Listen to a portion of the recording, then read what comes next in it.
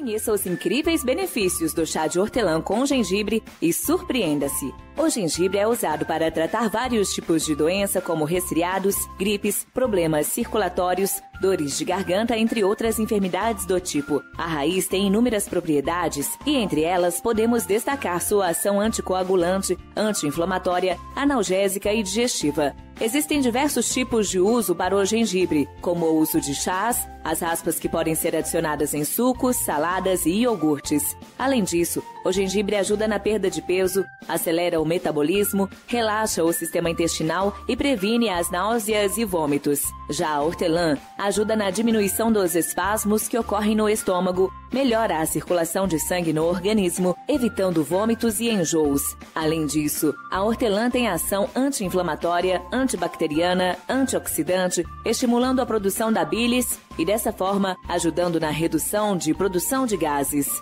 Como o chá de hortelã com gengibre funciona no organismo? O gengibre é um termogênico, ou seja, provoca o aquecimento do corpo, em especial a região dos pés e mãos. Diante disso, é considerada a erva do aquecimento. Por conta disto, o chá de hortelã e gengibre possui características de um chá emagrecedor, já que a junção das ervas estimula a queima de gorduras.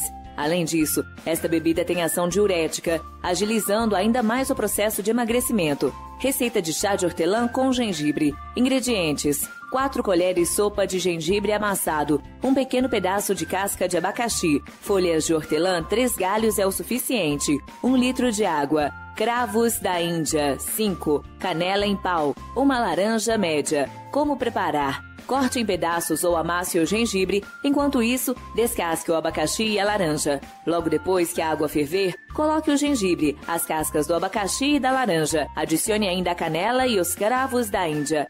Deixe tampado cozinhando em fogo baixo por cerca de 10 minutos. Adicione o mel ou o açúcar mascavo ainda quando estiver no fogo.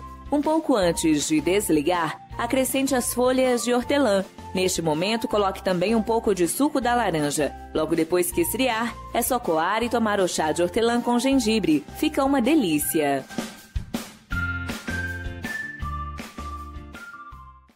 Se você gostou, deixe sua opinião nos comentários. Deixe seu like, inscreva-se no canal e compartilhe esse vídeo com seus amigos. Até breve!